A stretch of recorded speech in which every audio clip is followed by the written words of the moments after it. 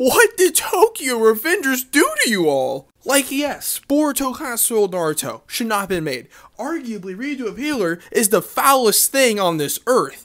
I don't even know if I want to know what that one is. But what did Tokyo Revengers do to you people? I mean, the ending was less to be desired, is what I heard, but they rewrote it for you! Ungrateful and Fall your Week.